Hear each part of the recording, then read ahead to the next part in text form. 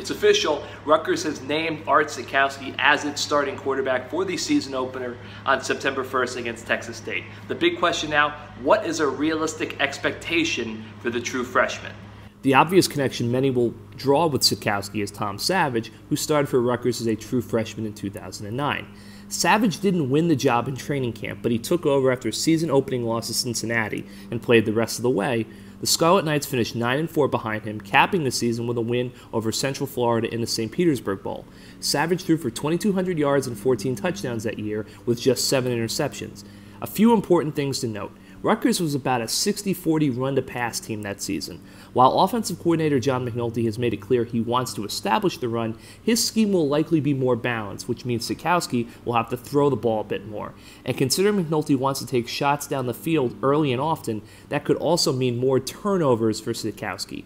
Savage also had Tim Brown and Mohamed Sanu at wide receiver. While Rutgers is optimistic about its young receiving corps, we don't really know yet what Sitkowski is going to be working with there.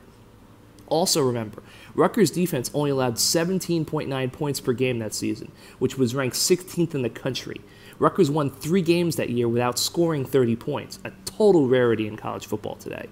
We expect Rutgers to have a strong defense again this year, but will it be that strong? That's another thing to remember. Savage was able to kind of play that defense and grind out some low scoring games. We don't know if Sitkowski will have that luxury yet.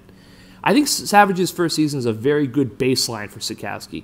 Uh, it's a proven fact, fact that Rutgers has had a true freshman quarterback in recent years who's led the team to success to a bowl game. I think the realistic expectation for the Old Bridge native is that Sitkowski's passing numbers have a very good chance of being higher than Savage's in 2009, but he's also likely going to turn the ball over more. We saw some careless mistakes in the spring game, and just when you're throwing the ball more and throwing the ball downfield, mistakes are going to happen. The ball is going to be taken away. But like Savage, I think at the end of the day, Sitkowski should be able to rely on a quality defense and give Rutgers a chance to compete on a weekly basis with a chance to reach six wins and a bowl game.